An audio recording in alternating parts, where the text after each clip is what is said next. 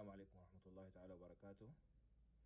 Uh, I am Dr. Mugahid uh, Abdul Muttalib Salih, Assistant Professor of Surgery, Head of Department of Anatomy, University of Khartoum. Uh, we would like to welcome you, our students in the second year in the Faculty of Medicine. And uh, today, inshallah, we are going to start talking about a new chapter in the gross anatomy, which is the lower limb, the dissection of the lower limb. I hope these lectures, the coming lectures, to be joyful for you and to get benefit from it. And uh, of course, as usual, we start by the osteology of the area, the bones. And when we talk about the bones of the lower limb, the first bone that we have, I'm sure they have passed through it in the pelvis, is the hip bone so i hope it will be just a revision to the hip bone. You know the hip bone is uh, uh, is, uh, three bones articulating at one at one point here acetabulum is the articulation of three bones. The upper one which is called the ilium this is the ilium the upper one. And a lower anterior one which is the pubis this one the pubis and here we have the ischium. The three bones they articulate at the acetabulum okay? So this is the, the, the ilium, as we said, and the ilium is a, is a flat white bone. It broadens. It is the biggest part of the hip bone, and it passes here anteriorly from a, a, a prominent spine, which is anterior superior iliac spine, through the iliac crest. This is the iliac crest, and it go down until it reach the posterior superior iliac spine. So below the anterior superior spine here we have a notch and following this notch we have here the anterior inferior iliac spine. The same thing happened here. We have a slighter notch here below the posterior superior spine which lead you to posterior inferior iliac spine. So we have four spines, anterior superior iliac spine, anterior inferior iliac spine, posterior superior iliac spine, posterior inferior iliac spine. Usually the spines for example, the anterior superior spine is attached to a ligament or to a muscle or to both. The anterior superior spine here is attached to a sartorius muscle, which we'll come to it later on, and to a ligament called the inguinal ligament, you know it from the abdomen. The anterior inferior iliac spine is attached to rectus femoris, and we will talk about it later on. And it is also attached to a ligament, which is the iliofemoral ligament, the ligament that joins the ilium to the head of the femur. The posterior spines are mainly attached to ligaments and sacroiliac ligaments on the back. The iliac crest, you know the iliac crest. The iliac crest here is attached to many uh, to many muscles. اللي هي muscles of the abdomen you know you know some of them uh, a lot of them اللي هي quadratus lumborum muscle in the posterior abdominal wall the uh, internal oblique and the external oblique muscles and uh, also latissimus dorsi has got attachment here the erector spinae muscle, uh, the the lumbar fascia. So we have a lot of muscles and fascia attached to the iliac crest. This might be caught in the exam. They may mark to you, we may mark to you the the iliac crest here, and we may ask you about the attached muscles. Now, here we have what we call them the gluteal lines. We have an inferior gluteal line, we have a middle gluteal line, and we have a posterior gluteal lines. Gluteal lines, they separate the area of attachment to the gluteal muscles. So we have the anterior gluteal line, middle gluteal line, and posterior gluteal line. Between them is the original gluteal muscles, gluteus maximus, gluteus medius, and on the back, gluteus minimus. We'll take them later on when you come to the muscles of the gluteal area. Type. These are the important notes about the ilium. This is acetabulum. Acetabulum has got an articular area which articulates with the head of the femur. And this is deepened in the real life. It is deepened more by a cartilage, what we call it the glandular glandular acetabuli or or, or we call it the acetabular cartilage it has got many na names يعني طيب uh, the acet طبعا sometimes we call it the acetabular labrum the, the most famous name اللي هو acetabular labrum labrum acetabuli or the acetabular cartilage okay this is the ischial spine it is an area of attachment to the ischiospinous ligament this is ischial tuberosity and it has got a rough area with a smooth area and it's also an important attachment area to the sacrotuberous ligament. This is for sacrospinous ligament, and this is for the sacrotuberous ligament. The ischial tuberosity also is important for attachment of a lot of muscles. We call them group of muscles. We call them the hamstring muscles. And you know, hamstring muscles are, uh, we'll know them later on, are the, the muscles of the posterior aspect of the thigh. The, the pubic bone has got a pubic crest, and lateral to it is a pubic tubercle, uh, where the inguinal ligament is attached. The pubic bone from it diverges the superior pubic ramus, which joins the ischial ramus, and which joins the acetabulum, sorry, and inferior pubic ramus, which joins the ischial ramus, and all of them they surround the obturator foramen, which is covered by obturator membrane, except for an upper gap here for the obturator nerve and vessels. The pubic bone and the ischial ramus, this area is an important area for attachment of most of the adductor muscles of the thigh. So the extensor muscle or the muscles of the back of the thigh are mainly here, ischial tuberosity, but most of the adductor muscles of the thigh are attached here and we will come to them later on.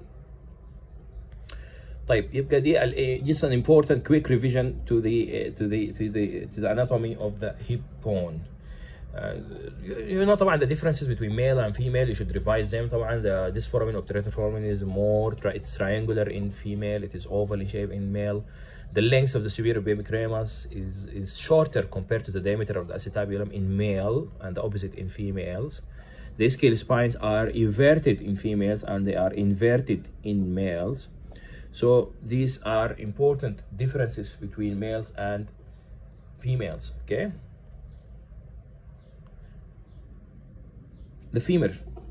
The femur is the longest long bone in the human body. It's a long bone and here we are looking to the anterior aspect of the femur and here we are looking to the femur from the back. This is the right femur. The femur has got a head.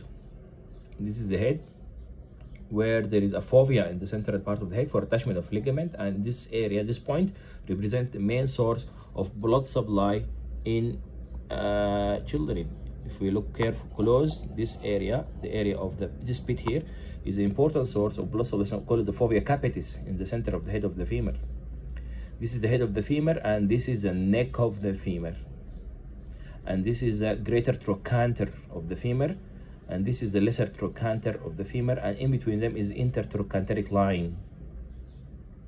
So this is the head of the femur this is the neck of the femur and this is the greater trochanter and this is the lesser trochanter and in between them here is the intertrochanteric line intertrochanteric crest, sorry.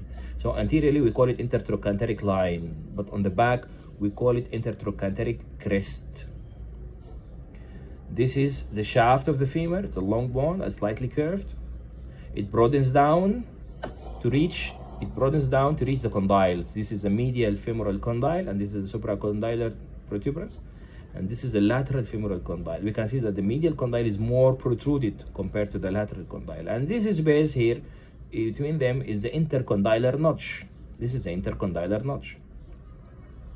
So this is a convex shaft, long shaft. It is the longest long bone in the human body. It's a very strong bone. You need a lot of force to fracture the shaft of the femur. But when fracture occur in the shaft of the femur, you should expect a lot of blood loss. Up to two liters of blood can be lost and this can lead to shock, which can be fatal.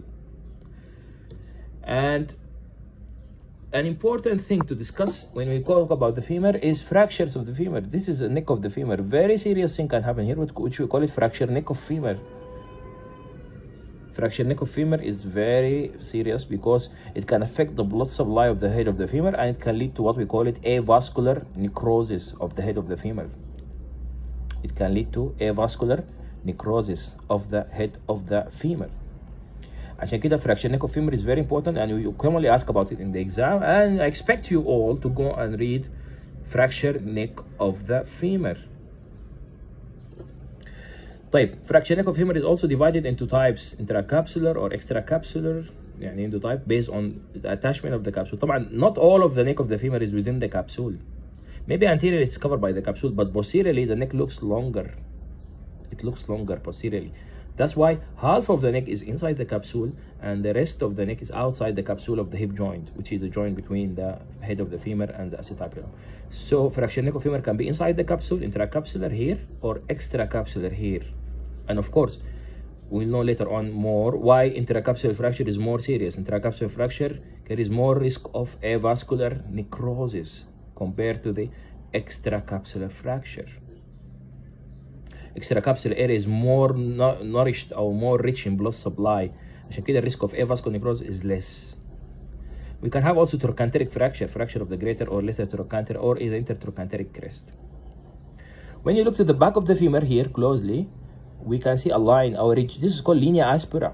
If you follow this linea aspera upward, you can see that it diverges laterally and medially. Okay, it diverges laterally to reach a, a tuberosity here, which is called the gluteal tuberosity below the greater trochanter. This gluteal tuberosity is important for attachment of gluteus maximus muscle. And it diverges medially here to reach a tubercle here, which is called quadrate tubercle. And this is important for attachment of a muscle called quadratus femoris. We'll come to it later on. The ridge, when it goes down, it diverges also. It diverges to reach the supra medial supracondylar ridge and the lateral supracondylar ridge. So this linea aspera, it diverges upward and it diverges downward. And has got important muscle attached to this area. Better we talk about them later on when we come to the muscles in the thigh. This is articulation of the hip joint. The hip joint is articulation between the head of the femur and the articulation between the head of the femur and the the the the acetabulum. It's an articulation between the head of the femur and the acetabulum here. Okay. طيب uh,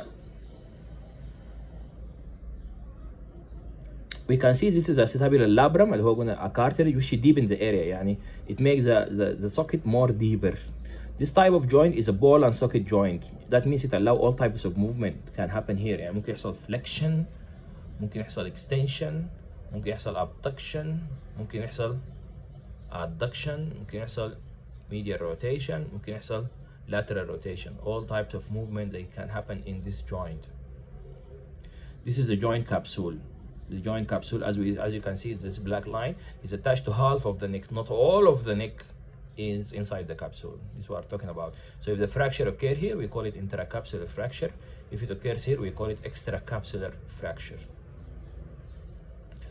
في important uh, ligaments طبعا which is stabilize this joint this is the, the joint itself after covering by ligaments if the ligament comes from the ilium downward to the femur, we call it iliofemoral ligament. If the ligament comes from the pubic bone to the femur, we will call it pubofemoral ligament. If the ligament comes from the ischium to the pubic bone, we call it ischiofemoral ligament. So the three bones of the hip joint, of the hip bone, they can give ligament attachment to the femur, iliofemoral, pubofemoral, and ischiofemoral. طبعا they resist. They, these ligaments are important to stabilize the joint.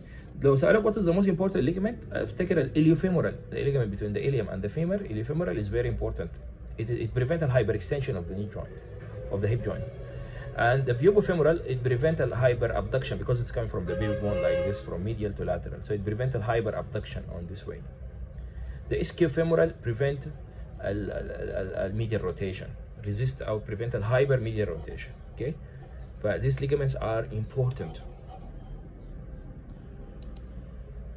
This is a patient with fracture in the femoral neck, as we said, which is very serious and it can lead to avascular necrosis in the head of the femur. Okay. Now we come to this bone. This is a patella. Patella is a pyramidal shaped bone it's we, we, we, we, we describe it as an inverted pyramid inverted pyramid with the base of this pyramid upward and the apex of the pyramid is down as you can see the but this is the apex and this is the base this is the articular surface of the patella on the back. We have a lateral surface for the lateral femoral condyle a medial surface for the medial femoral condyle and a most medial surface which is non-articular in the sitting in the standing position our extension. When you extend the knee joint while you are standing this means most medial surface will be out of contact with the femur. But if you do flexion to your knee this most medial surface will come in contact with the medial femoral condyle. So we have three articular surfaces on the back. They are not two, they are mainly three. Lateral surface, the biggest one, and this is the medial surface, and this is the most medial surface. As we said, in the usual position of standing, while the knee is extended, the lateral surface and the medial surface are attached to the femur. But when you flex your knee,